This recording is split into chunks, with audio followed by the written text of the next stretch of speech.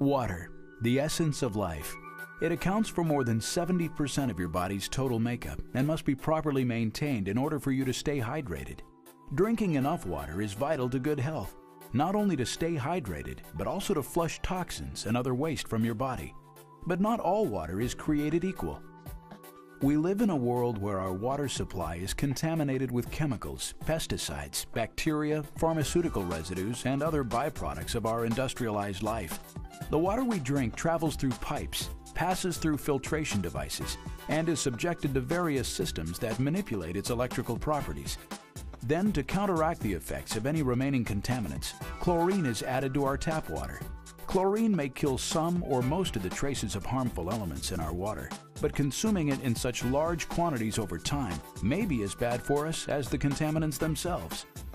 So, in reality, the water we depend on to hydrate and rid our bodies of waste may be only adding to the toxins that already exist.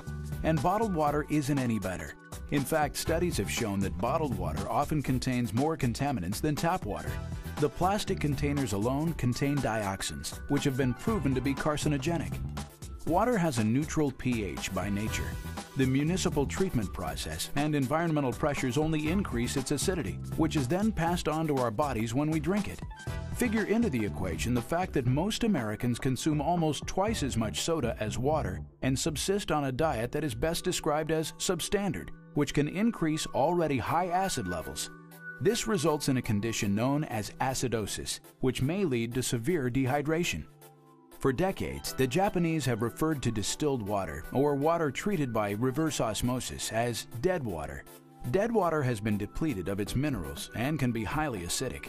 When water is acidic, it has very little potential to reduce oxidation in the body. This encourages the growth of free radicals, which damages cells, organs, and DNA through oxidation. Free radicals are known to be a root cause of many significant health challenges, as well as the aging process itself. More than 80% of all illnesses can only exist in an acidic environment. So it is a logical assumption that by restoring the body to an alkaline state, we can regain control of our health. And the most effective way to achieve the transformation to alkalinity is by drinking water that has been restructured, turning acidic dead water into alkaline living water. Simply put, acidic water has more protons than electrons, resulting in a positive charge. Living Water by Vollara reverses the proton to electron ratio to increase alkalinity through a process known as ionization, which creates a negative charge. The oxidation reduction potential, or ORP, of a substance is directly linked to its charge. Substances with positive charges are acidic, and in most cases, substances with negative charges are alkaline.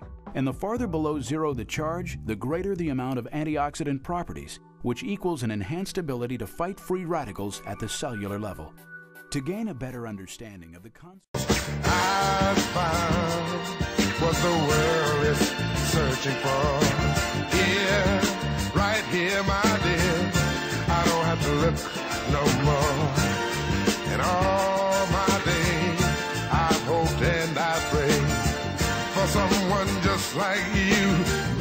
feel the way.